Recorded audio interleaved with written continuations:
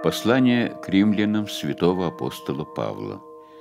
Глава 11, стихи с 25 по 36.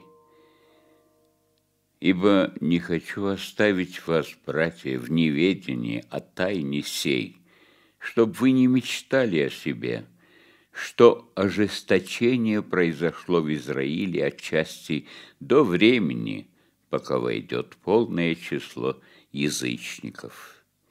Итак, весь Израиль спасется, как написано.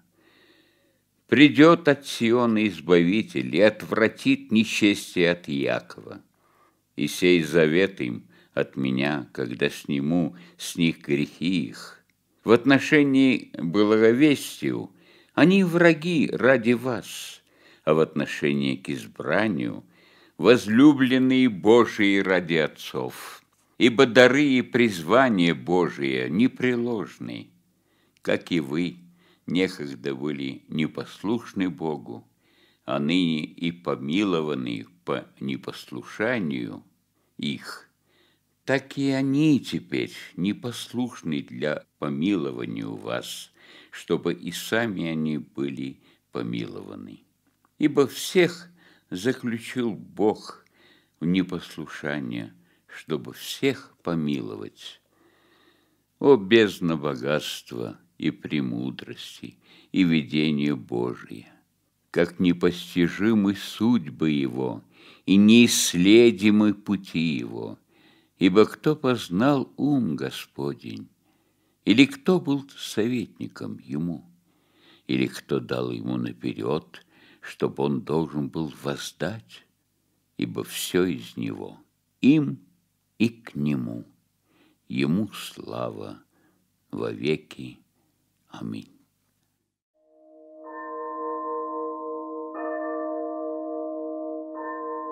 Евангелие от Матфея, глава 14, стихи с 22 по 36. И тотчас понудил Иисус учеников своих войти в лодку и отправиться прежде его на другую сторону, пока он отпустит народ. И отпустив народ, он зашел на гору помолиться наедине и вечером оставался там один. А лодка была уже на середине моря, и ее било волнами, потому что ветер был противный. В четвертую же стражу ночи пошел к ним Иисус – идя по морю. И ученики, увидев его, идущего по морю, встревожились и говорили, это призрак, и от страха вскричали. Но Иисус тотчас заговорил с ними и сказал, «Ободритесь, это я, не бойтесь». Петр сказал ему в ответ, «Господи, если это Ты, повели мне прийти к тебе по воде. Он же сказал, иди. И, выйдя из лодки, Петр пошел по воде, чтобы подойти к Иисусу. Но, видя сильный ветер, испугался и, начав утопать, закричал, «Господи, спаси меня!» Иисус тотчас простер руку, поддержал его и говорит ему, маловерный, зачем ты усомнился? И когда вошли они в лодку, ветер утих. Бывшие же в лодке подошли, поклонились ему и сказали, истина, ты Сын Божий. И, переправившись, прибыли в землю Генисарецкую. Жители того места, узнав его, послали во всю окрестность ту и принесли к нему всех больных и просили его, чтобы только прикоснуться к краю одежды его, и которые прикасались, исцелились.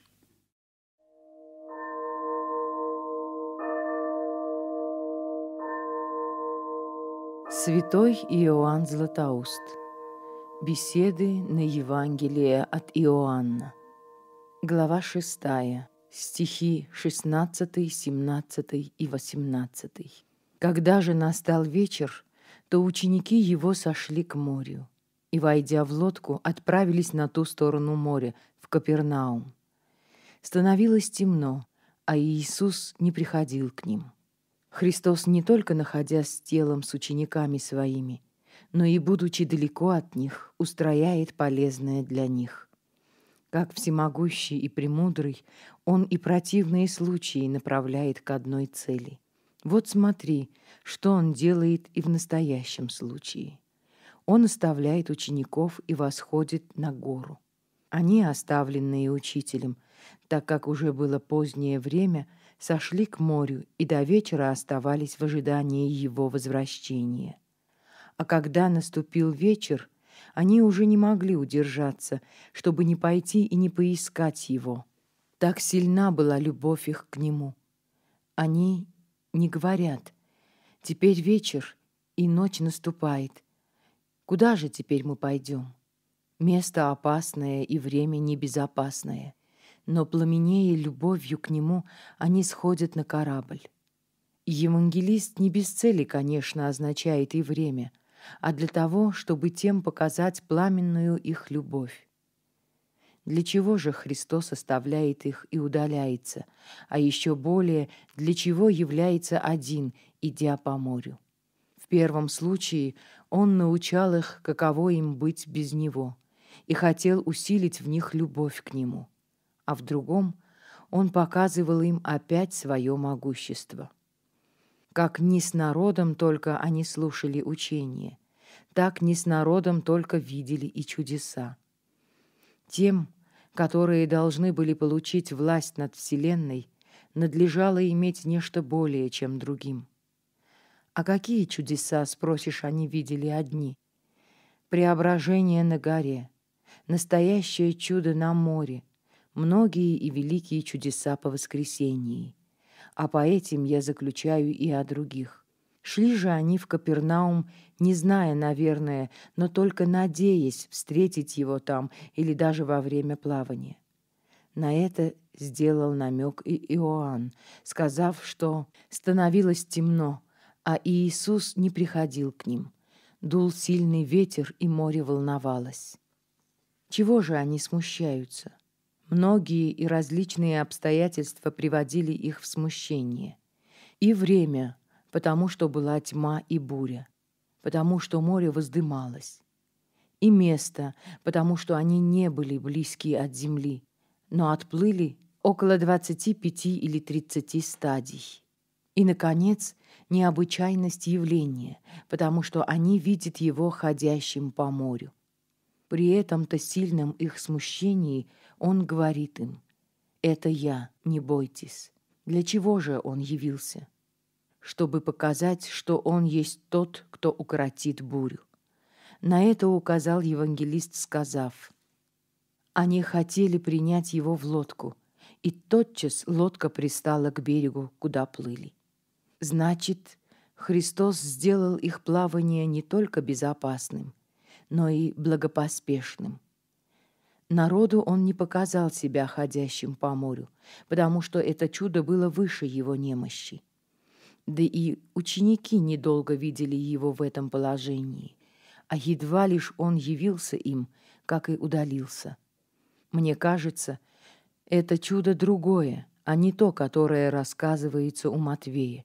И что оно действительно другое, это видно из многого.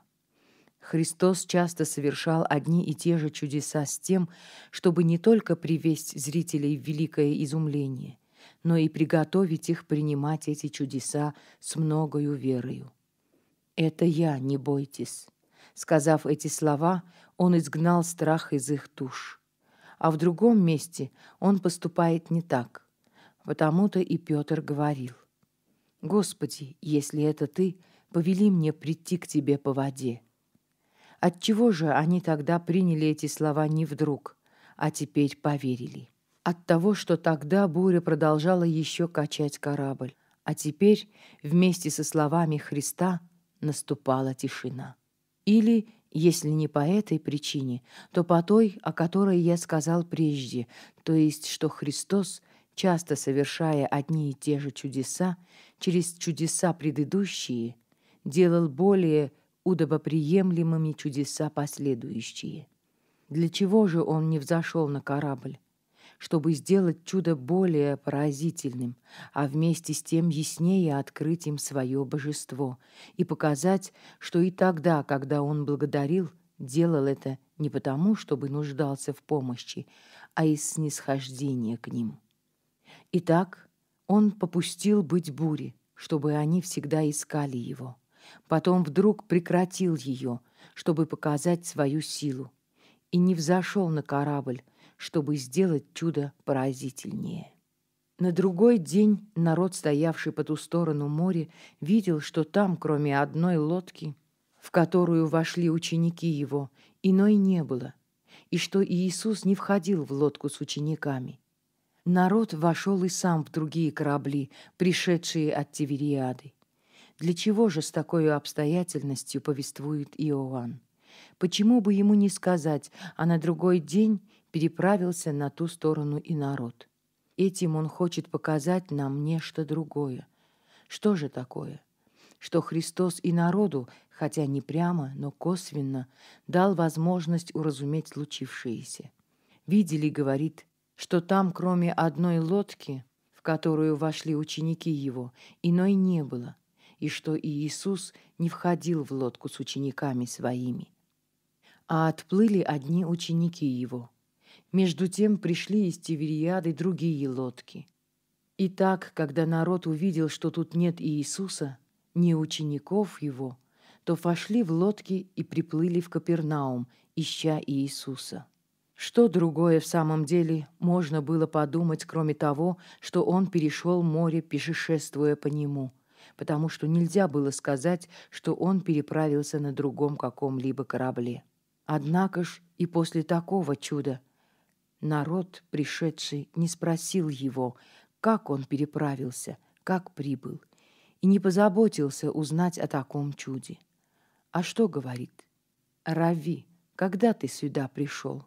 Разве кто станет утверждать, что слово «когда» ими сказано здесь вместо? Следует и здесь обратить внимание на непостоянство их мыслей. Те, которые говорили «сей есть пророк», которые старались восхитить его и сделать царем, нашедшие его, не думают ни о чем таком, но, забыв, как мне кажется, о чуде, более уже не удивляются ничему прежде бывшему. Они искали его, но, конечно, потому, что хотели опять насладиться трапезою так же, как прежде. Перешли некогда Черное море и Иудеи под предводительством Моисея. Но большое различие между тем, что было там и что здесь. Тот все совершал молясь, и как раб, а этот со всею властью. Там вода уступила напору ветра – так что можно было перейти по суху. Здесь же было большее чудо. Море оставалось в своем естественном состоянии и таким образом носило владыку на своем хребте, подтверждая изречение, которое говорит «ходит по морю, как по земле». Между тем благовременно совершил он чудо над хлебами, намереваясь войти в строптивый и непокорный Капернаум. Он хотел смягчить неверие жителей этого города чудесами, не только бывшими в нем, но и совершенными вне его. Стечение в этот город такого множества народа, выказавшего великое усердие, какого не могло бы смягчить и камня. Но с ними не случилось ничего подобного. Нет, они желали только пищи телесной, а потому Иисус и укоряет их. Зная это, возлюбленные, будем благодарить Бога и за чувственные блага, но еще гораздо более за духовные. Этого хочет и Он, и ради этих-то благ дарует и те, привлекая и научая ими несовершенных, как людей еще сильно привязанных к миру. Впрочем, если они, получив эти блага, на них и останавливаются, то подвергаются осуждению и наказанию. Вот и расслабленному Христос хотел дать прежде всего благо духовное, но присутствующие этого не вынесли. На его слова «отпускаются тебе грехи твои», они сказали «сей хулит». Да не будет же с нами, убеждаю вас, ничего подобного. Но благо духовные да будут предметом наших особенных забот. Почему? Потому что, когда есть благо духовные, не бывает никакого вреда от неимения благ телесных. А если нет их, то какая нам останется надежда, какое утешение? Потому о них всегда нужно молить Бога и их просить. О них молиться научил нас и Христос. И если мы вникнем в ту молитву, то не найдем в ней ничего плотского, но все духовное. Даже и то немногое чувственное, о чем мы просим в ней, становится от образа прошения духовным.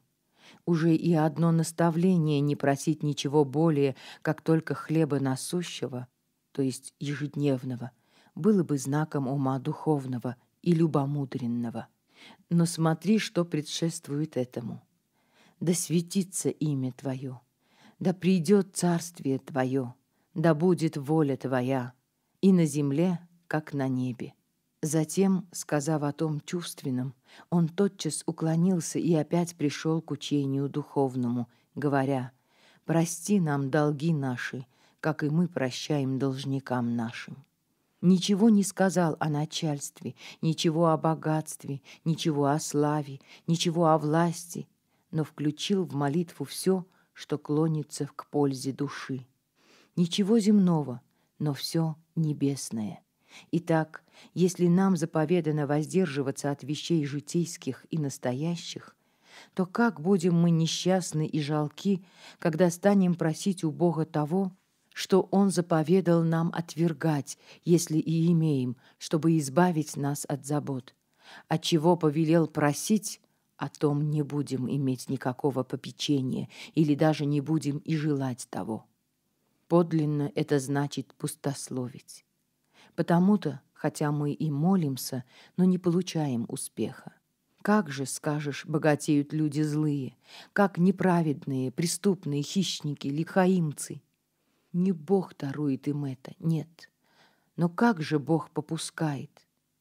Как попускал некогда и богачу, соблюдая его для большего наказания. Вот послушай, что сказано ему.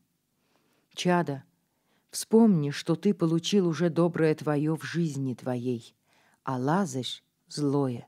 Ныне же он здесь утешается, а ты страдаешь. Итак, чтобы и нам не услышать этого голоса, нам, которые суетно и безрассудно проводим жизнь в роскоши и прилагаем грехи к грехам, станем заботиться о приобретении истинного богатства и совершенного любомудрия. Через это мы получим обетованные блага, которых и досподобимся все мы по благодати и человеколюбию Господа нашего Иисуса Христа, через которого и с которым Отцу со Святым Духом слава ныне и присно и во веки веков. Аминь.